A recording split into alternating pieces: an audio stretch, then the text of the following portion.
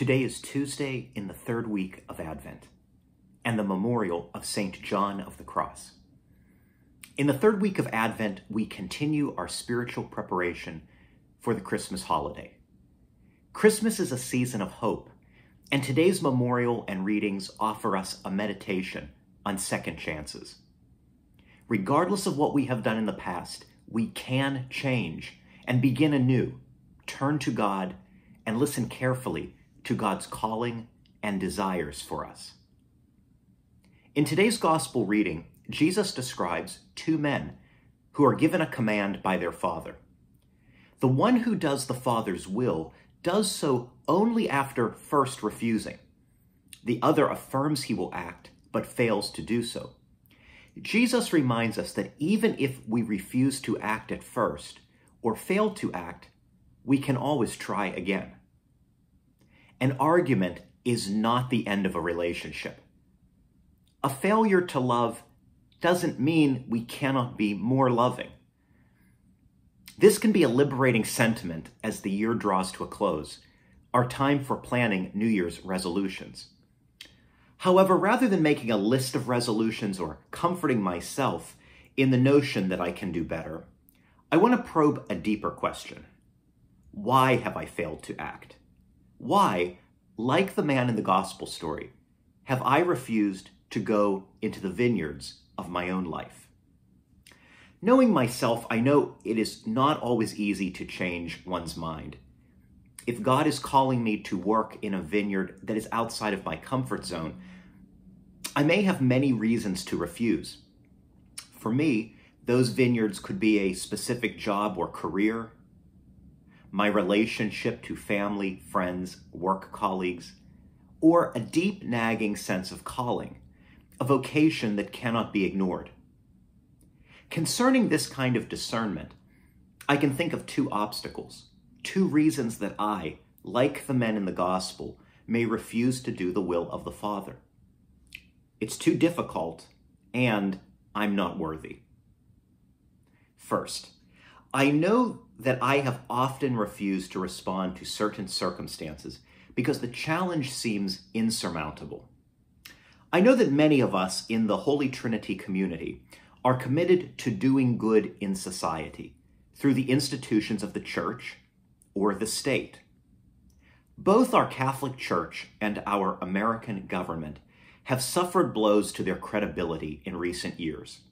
Scandals have plagued both institutions, and both have lost the faith of the public, especially the younger millennial and Gen Z adults. Our first reading says, Woe to the city rebellious and polluted. She hears no voice, accepts no correction. In the Lord she has not trusted. Could these lines describe our own city, our state, or our church? Have our leaders been like those who accept no correction? Have any of us? Or do we stand self righteous, knowing better, in judgment of others? Of this city, the prophet says, For then I will change and purify the lips of the people. On that day, you need not be ashamed of your deeds your rebellious actions against me, for then will I remove from your midst the proud. This reference to shame that God will wipe away leads me to my second point. The second reason I may refuse the Father's command is that I feel I'm not worthy to go into the vineyard. How many good people refuse to run for political office, enter church ministry, or pursue leadership in their field because they think they are not worthy. I think this is especially true for those of us who have felt left out, anyone who experiences minority stress in their community or workplace. Psychologists identify imposter syndrome as an experience of doubting one's competence or accomplishments, the fear of being revealed as a fraud. I think the core idea here is shame being ashamed of who we are, or simply doubting our intrinsic worth, is completely contrary to our faith, since we believe God created us. Nonetheless, Catholic guilt, perhaps occasional sincere remorse for our sins and shortcomings, has a pernicious way of slowly evolving into deep shame.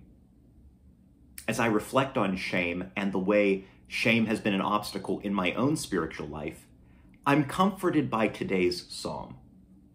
The Lord is close to the brokenhearted.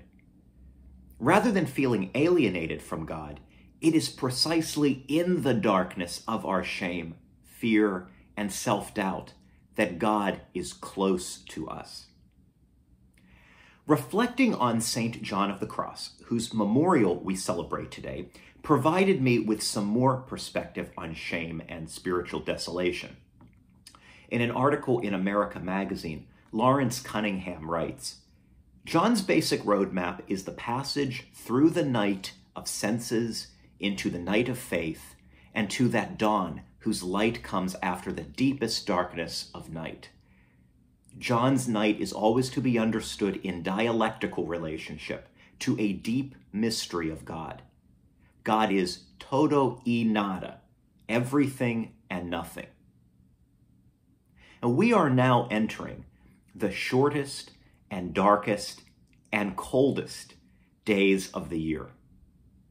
The literal darkness of these shortest days of the year shroud us in the nothing. The Welsh poet Dylan Thomas had thoughts on the darkness. Do not go gentle into that good night. Rage, rage against the dying of the light. However, in contrast to Thomas, I'd like to suggest we take the approach of John of the Cross. God is both todo e nada, everything and nothing.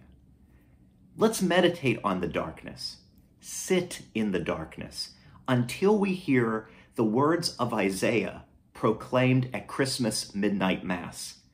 The people who walked in darkness have seen a great light. Upon those who dwelt in the land of gloom, a light has shone. You have brought them abundant joy and great rejoicing. And these words from the prologue of John's Gospel proclaimed on Christmas Day. What came to be through him was life, and this life was the light of the human race. The light shines in the darkness, and the darkness has not overcome it.